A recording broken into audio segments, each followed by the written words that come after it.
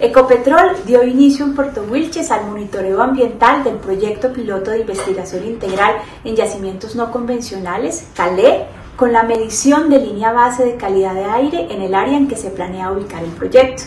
El sistema de monitoreo está compuesto por tres estaciones localizadas en el centro poblado del municipio de Puerto Wilches, en el centro poblado del corregimiento kilómetro 8 y en el área rural del corregimiento kilómetro 8. La información que se recolecte de estas tres estaciones nos va a permitir conocer el estado actual de la calidad del aire previo al inicio de las actividades del piloto.